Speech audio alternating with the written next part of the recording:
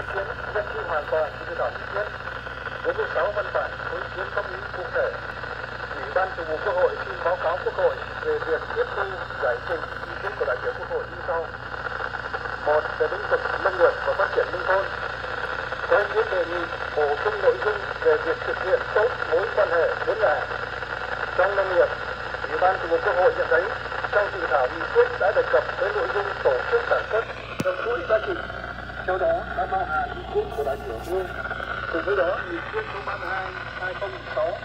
năm 14 và nghị quyết số 44 2017 năm 14 của quốc hội cũng đã nêu vấn đề này. Do đó xin giữ như dự thảo nghị quyết, có ý kiến đề nghị, có biện pháp xử lý tật xấu và quá hạn trong ngư dân trong việc hỗ trợ đóng tàu theo nghị định số 67 ủy ban thường vụ quốc hội nhận thấy nội dung tố cáo gỡ khó khăn trong ngư dân trong hỗ trợ đóng tàu trong dự thảo nghị quyết đã bao hàm ý kiến đề nghị của đại biểu do đó xin được giữ như dự thảo có ý kiến đề nghị cân nhắc việc sửa đổi tiêu chí xây dựng nông thôn mới để tránh việc tạo điều kiện cho các địa phương hạ chuẩn và không đạt chuẩn mục đích ban đầu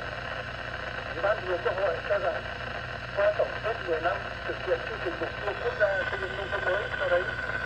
việc rà soát bổ sung điều chỉnh bộ tiêu chí nông thôn mới để phù hợp với điều kiện phát triển kinh tế xã hội từng vùng miền là cần thiết. Do đó, ủy ban thường vụ quốc hội xin được giữ như dự thảo. Có nghị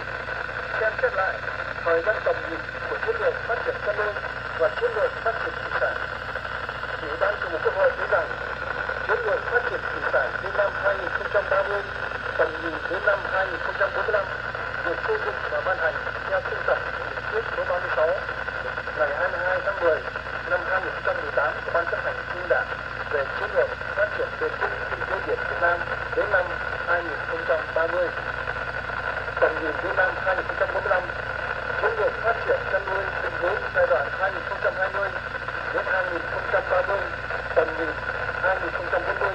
được xây dựng căn cứ theo quy định tại khoản 1 điều 5 luật chăn nuôi.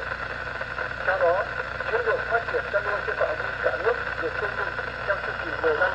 định hướng 2 năm và phù hợp với chiến lược phát triển kinh tế xã hội, chiến lược phát triển ngành nông nghiệp và phát triển nông thôn. Có ý kiến đề nghị bổ sung các nội dung đến năm 2030 đưa Việt Nam đứng trong top 15 của thế giới về phát triển nông nghiệp hữu cơ, quản lý tốt các loại vật tư đầu vào cho sản xuất, khuyến khích sử dụng các chế phẩm sinh học để phòng trừ các bệnh. Ủy ban thường vụ Quốc hội nhận thấy mục tiêu phấn đấu đến năm 2030, Việt Nam nằm trong nhóm 15 nước phát triển nông nghiệp hữu cơ trên thế giới đã được xác định trong dự thảo đề án của chính phủ về phát triển nông nghiệp hữu cơ giai đoạn 2020 đến 2030. Tuy nhiên, để đầy đủ bao quát nội dung, Ủy ban thường vụ Quốc hội xin được tiếp thu và thể hiện như trong dự thảo. Có ý kiến đề nghị cân nhắc sử dụng cụm từ nguyên điểm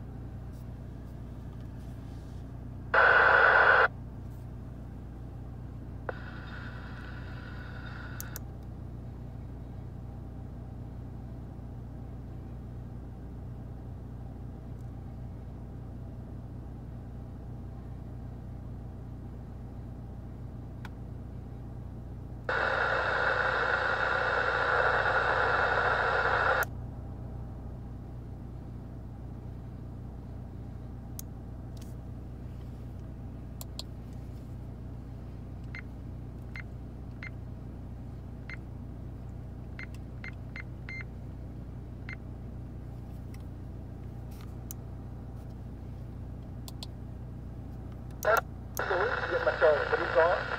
Nội dung này đã được thể hiện trong chiến lược phát triển năng lượng tái tạo của Việt Nam đến năm 2030, tầm nhìn đến năm 2050.